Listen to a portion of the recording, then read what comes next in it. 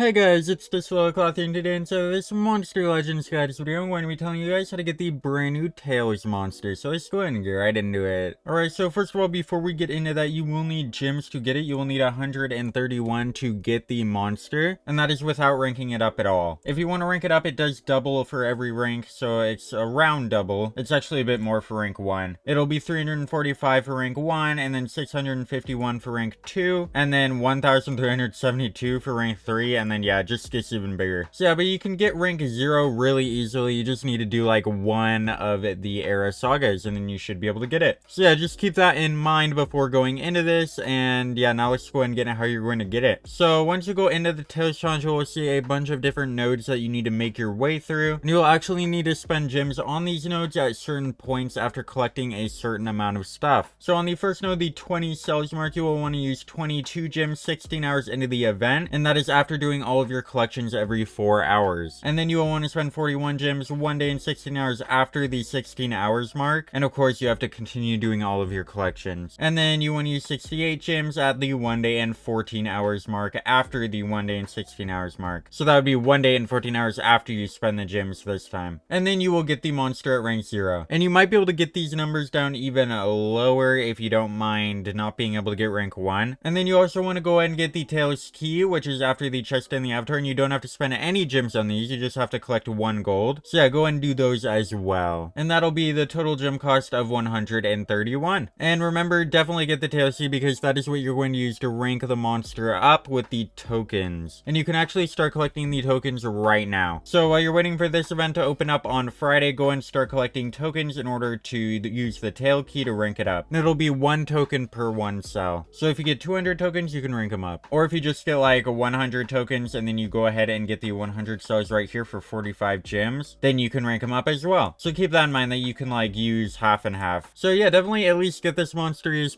pretty good and try to rank them up if you can because all monsters do get much better when you rank them up. They not only get higher stats, but they also get new moves and new traits. And the easiest ways to get tokens are through daily missions. You can also go and watch an ad every, I believe it's two hours for a token inside of the chest shop. And then there's also going to be a tokens dungeon where you can get 15 for free. So yeah, those are pretty much the best ways to get tokens. Yeah, that is going to be it for this video. Let me know down in the comments if you do end up getting this monster, and I'll see you guys in the next one. Goodbye.